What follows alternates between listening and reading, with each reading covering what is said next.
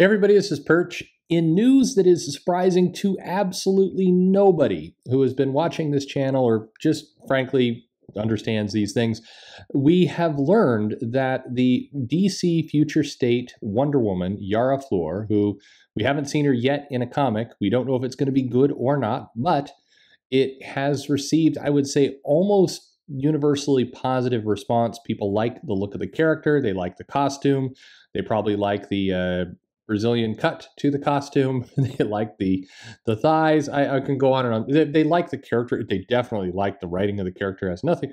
No, I'm just I'm just joshing a little bit. But Yara Flor, who will be in Wonder Future State Wonder Woman, will be in the Justice League. Uh, is is kind of this new Wonder Woman from the Amazon. In this case, the Amazon rainforest. Uh, the daughter of an Amazon warrior and a Brazilian river god who is uh, kind of taking up this mantle of Wonder Woman for Future State, we have learned that she will, in fact, uh, have a title called uh, Wonder Girl that will uh, emerge in March.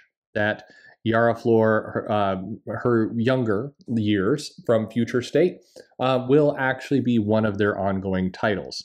And this is again zero, zero surprise. So she will debut in January, be in future state January, February. They'll try and get a bunch of interest in this character being kind of adult uh, version of Wonder Woman. But then we get Wonder Girl, and uh, this this comic uh, comes out in March. And so again, no surprise. I think I've, I've, said over and over and over that of all the characters that are likely to immediately be part of the new present of DC in March, Yara Flor is absolutely going to be it.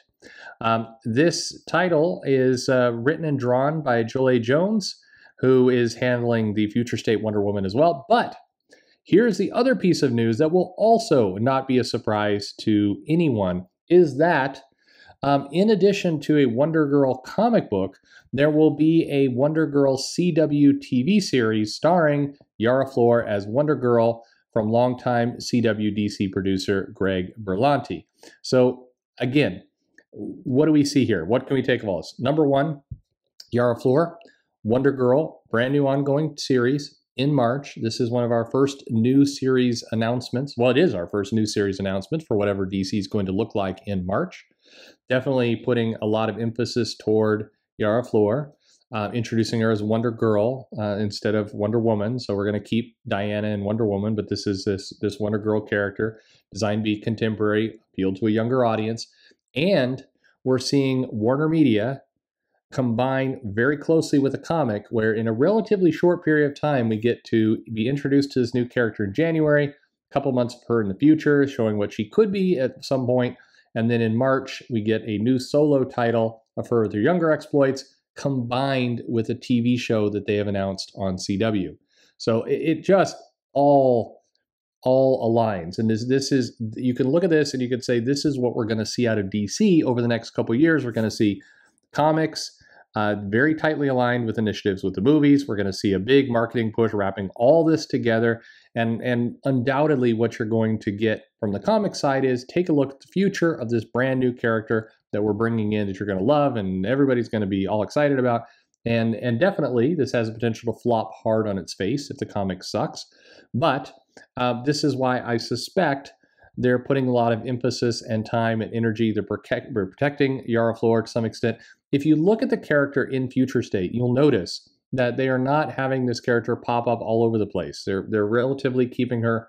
I don't want to say confined, but I'm sure they're controlling some of how this character is going to be introduced and rolled out and what they're going to do because this is this is really kind of the first clear indication we're going to get of a very coordinated, very aligned DC universe um, with media and with comics. So, if you were looking at basically preview art and thinking, I like Yara Flor, I like the way those thighs look. Uh, no, I'm, I'm excited about all this. If this is something that you are super in, excited about, um, then good news for you. Uh, you're going to get more of it. This character is absolutely going to continue. We're going to get more of her younger, uh, probably more of her more reckless days as part of the new DC series Wonder Girl and a TV show to boot. So, uh, what do you think? Are you still excited by this character? Is it too much, too fast? This is, uh, I think this is going to be. I'm going to use this comparison. Will drive some people crazy. This will be the uh, the Miss Marvel of DC in the sense that DC is going to just promote and shove her out center stage as often and frequently as they can. Hopefully, not too quickly. Hopefully, not too much. Uh, save some back. Do not get uh, too intense with it, or you'll risk, you know, getting people tired. You know, get a natural backlash when you push things too hard. So hopefully, that's not where this is going. But uh, you know, be be sparing. Make people want it at the end of the day and we'll see how it all rolls out. But are you still excited about Yara Flor? Are you interested in seeing where the character goes? Are you surprised by any of this? Um, the announcement of a CW show and everything else, it's it's it's a lot of uh, stuff they're building onto this character right out the gate. I don't think we're going to see this for any of the other real characters, including what John Ridley's doing over there with Batman. I think this is this is where they're putting some bank into really believing that they're going to build a little Wonder Woman franchise here. So there you have it. Hey, if you enjoyed this, it was good, a little bit of information, nice and quick, like, subscribe, click the bell for notifications, uh, write a comment below, send me an email, do whatever you like. Most importantly, though, thanks for listening.